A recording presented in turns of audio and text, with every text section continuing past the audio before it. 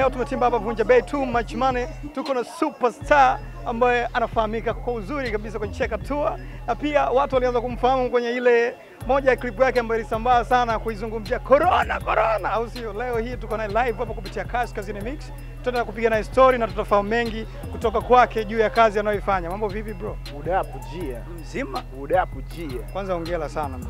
Ah, shukrani sana bro. Ah, kupenya kwako kwenye tasnia nzima kwanza ya uchekeshaji na kuanza kupata ustaa, uliutarajia kwa ukubwa huu ambao sasa hivi Watanzania wamekupatia?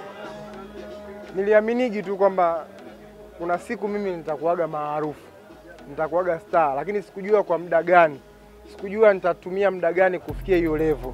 Kwa kwa huu muda ambao nimeweza nime, nime, nime kuwa hivi, namshukuru sana Mwenyezi Mungu kwa kweli. Yeah. Okay, first time mimi naona ile clip nilikuwa najiuliza huyu jamaa kitu gani alikuwa amewaza, kwa sababu ni moja ya, kitu ambacho hata mtu mwingine alikuwa hana ile idea kusema kuuzungumzia ugonjwa wa korona kama kuukoromea. Uliwaza nini kwenye ile clip? Tukianzia kwanza kwenye ile clip, kwa sababu nahisi ndio ilitambaa sana. Kwanza jamii hata sikuwaza chochote, yaani mimi nilikuwa naandika seti zangu tu za kawaida nini, so nikaona Umi Mwalimu kipindi hicho ndo kila mtu amemposti status corona. Kwa ah, sasa mbona corona nikakujikuta ndo ile, yani kama ndo ile, kwa hiyo nikarekodi.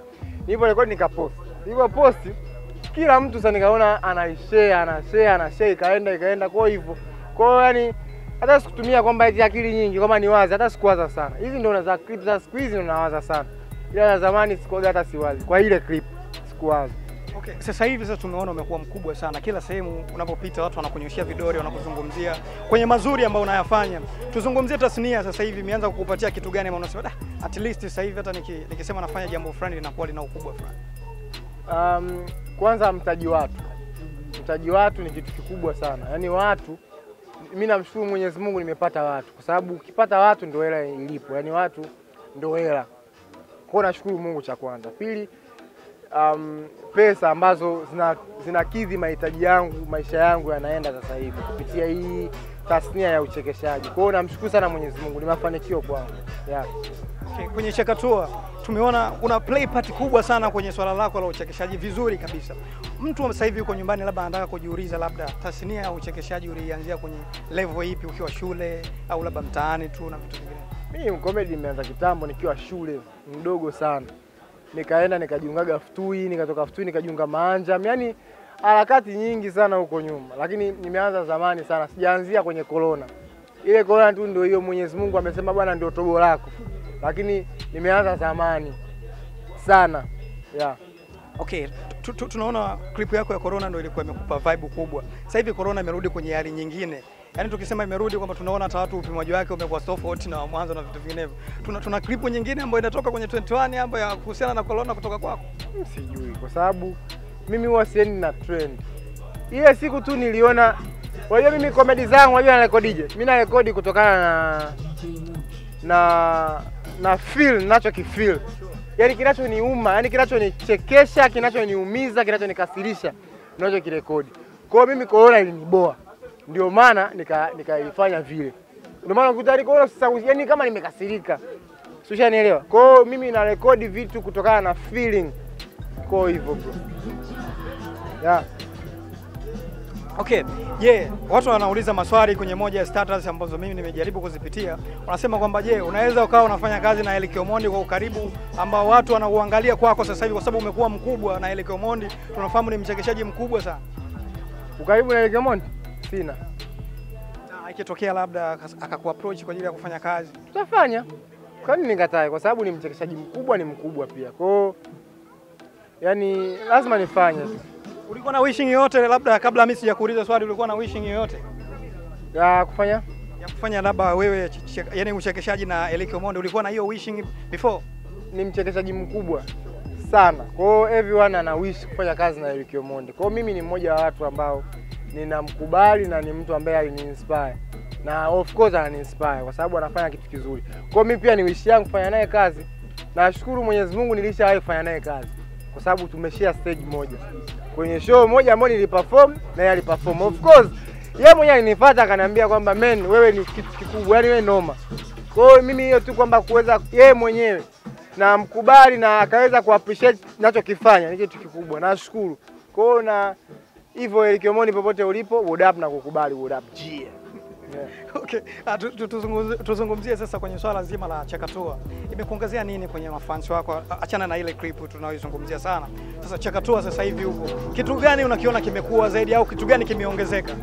imenikuza kwenye stand up comedy kwa sababu corona ilinikuza na hii zile clip clip zinanifanya ni niende tu mjini, lakini stand up comedy azicheka tu ndio jukwaa pekee la comedy ambalo lina limeni, limeni, yani limenifanya ni kuwe kiuandishi na confidence ya kuweza kuongea na watu ya hivyo tu.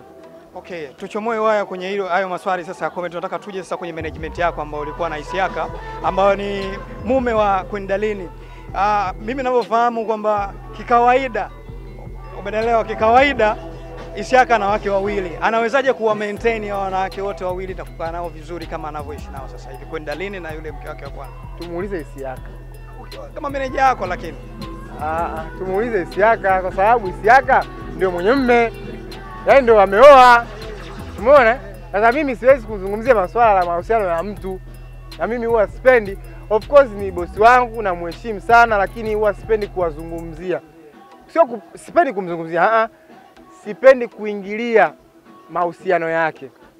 Napenda tu kuzungumzia staff zangu, maisha yangu, komedi zangu basi, ila ishu za watu sipendi kuzizungumzia. Sio ishu za watu, ishu za zinazomhusu mtu mwingine na sio mimi. Yeah. Ya, leo, leo, leo hii tumeona uko too much money hapa, moja ya familia yako kabisa ya karibu sana. Unamzungumziaje hatua ambayo Freddy sasa hivi anaipiga kupitia kazi zake anazozifanya, na moja ya lebo kubwa ambayo inafanya vizuri sasa hivi ni too much money. Unaizungumziaje pia lebo ya too much money? Mimi nampongeza sana kwa sababu ni kijana ambaye ameweza kuthubutu na ameweza kufanikiwa na ana support vijana wenzake. Kwa ni kitu kikubwa sana tumpongeze jamani, yaani tusiwe wanafiki au tusiwe wachoyo wa kumpa mtu credit zake. Anafanya vizuri na mimi niko inspired na, na Fred kiukweli, yaani mimi niko inspired sana na yeye na namkubali sana na namheshimu sana yeah. Okay.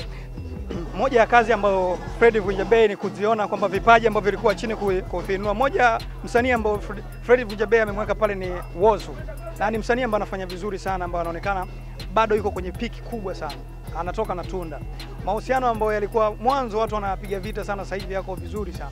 Ukiwa kama kijana ni moja pia, kuna watu na una inspire mtaani wakiwa wanakuangalia, mahusiano gani ambayo uyapendi kuyaanzisha ukiwa kama sasa hivi unatengeneza level za mkubwa?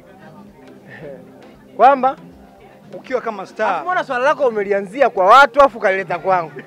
Mimi sipendi kuzungumzia watu. sawa, lakini mimi nacho- nachokimaanisha kwamba wewe ukiwa kama star unatengeneza brand yako.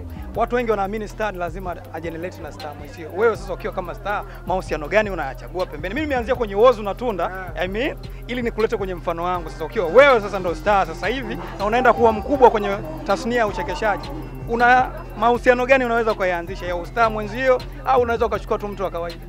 Mtu wa kawaida tu. Kwa nini? Basi tu kwa sababu ni mtu wa kawaida. Mimi sipendi mambo yangu. Wewe kwani kwenye peji yangu ushaye kuona ushaye kuona nimemposti mpenzi wangu? Mimi sijawahi kumposti mpenzi wangu. Peji yangu ni peji ya kazi tu. Ni peji ya komedi zangu tu. Basi. Huwezi kuona hata mama yangu nikimpostiji na mposti baada ya yani kama matangazo yale bwana ninakuposti baada ya masaa 24 nakufuta. Ndio ikogo hivyo. Ila utakuta content tu kwa sababu watu hawajanifuata pale kwenye peji kwa sababu ya kujua mahusiano yangu, wamenijua kutokana na komedi zangu, hivyo tu, na watu wabaki kujua komedi zangu basi.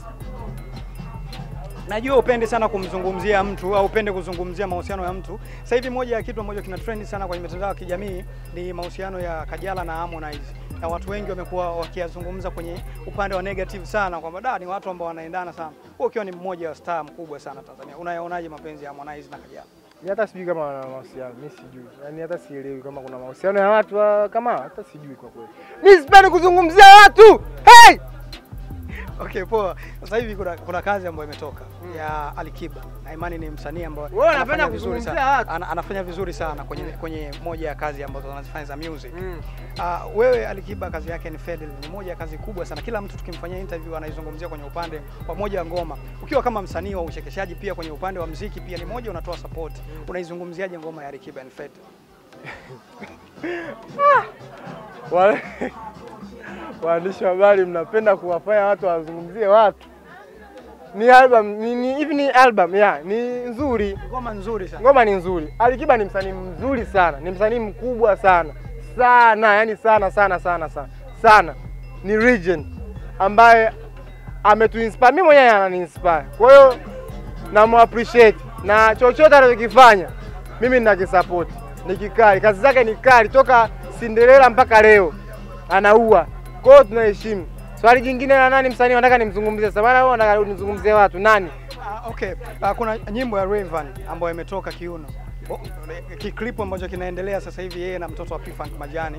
Uh, moja ya watu wanazungumza vitu vingi sana kuhusiana na ile clip kwamba Rayvanny huenda akawa anatoka na yule mtoto. Hapo nitazungumza, hapo nitazungumza. Mm. Unajua mimi Rayvanny nimemind, yani Rayvanny katika yani da, yani katika yani da. Unajua yule ni demu wa ndoto za yani masira wingi wa magetoni, tuna picha zake yule demu. Kale Karim, ii kakaangu, yani kale Karim kametuasha masira wengi kichizi. Lakini Rayvanny tu mtelezo tu mwanangu, napigwa makisi na demu ambaye demu wangu wa ndoto zangu, unajua. Demu mimi unakuta yuko DP, afu demu afu ile demu anajiachia tu, unajua si sema simzungumzii. Basi Paula, Ah, sasa nimekupa nafasi kidogo, basi nataka nimzungumzie. Sitaki sitaki kuzungumzia watu. Bwana eh, da leo tulikuwa tunapiga story na moja comedian mkubwa sana. Sasa hivi anafanya vizuri sana, ana umri mdogo lakini anafanya vizuri sana. Pia unaweza ukatembelea kwenye page yake. Page yako ya Instagram unatambulikaje vile? Sasa hapo ndo umeongea cha msingi bwana. Joe Masa naitwa um, Instagram natumia Joe Massa, J O L Massa, Joe Massa Babi, sio Joe Massa Babi, yani Joe Massa. YouTube Joe Masa. Eh, ni hivyo tu basi. Okay, Watanzania sio walikuwa wanataka uache na kitu chochote labda cha kuambia, kwa sababu wanafurahi sana na vile viklipu vyako na vitu vingine. Kuna kitu chochote labda cha kuwaeleza Watanzania juu ya kazi zako, juu ya vitu ambavyo wanatakiwa waendelee kuvifuatilia? cha kuambia ni waendelee kunifuatilia kwa sababu mimi bado ni msanii mchanga sana, natamani kukua zaidi, kwa sababu huenda nikajiona mimi ni mkubwa afu sina ukubwa huo. Ukubwa wanaujua Watanzania, wanipe huo ukubwa, waendelee kunisapoti kazi zangu nazozitoa, na mimi sitawaangusha. Kuna kazi nyingi kali ambazo zinakuja, kwa hiyo kuweni tayari. Nawashukuru sana ndugu zangu, Bwana alitoa na Bwana alitoa, jina lake limidiwe Amina. Ya, leo tulikuwa tunapiga story na comedian mmoja hatari sana wa Tanzania anaitwa Joe Master, au sio? Pale Instagram unaweza ukatembelea, pia unaweza ukatembelea kwenye YouTube channel yake ukaweza kusupport kazi zake. So mimi natoka hapa leo Vunja Bay, na tutarudi naye tena kwenye kikubwa ambacho atakuwa amekileta kwako Mtanzania. Kaskazini Mix tunasema usisepe baba. Wanapenda kuuliza maswali hayo ya watu.